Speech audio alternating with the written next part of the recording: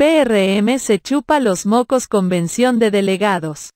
El Comité Nacional del Partido Revolucionario Moderno, PRM, ratificó hoy la resolución que establece la Asamblea de Delegados para elegir las nuevas autoridades, así como otorgar poder a la Comisión Electoral y la Dirección Ejecutiva para definir la fecha en que se realizará la elección de los nuevos titulares de la organización. Convención.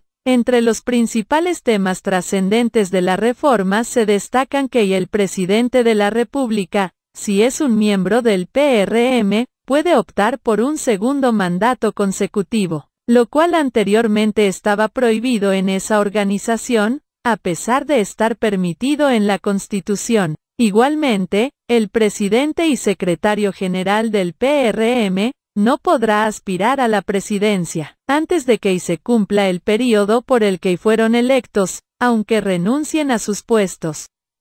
De acuerdo a los nuevos procedimientos, para ser elegible al cargo de presidente, vicepresidente, secretario general y subsecretario nacional del PRM, se debe tener un mínimo de cinco años de militancia, mientras que en los demás niveles el requisito será de tres años.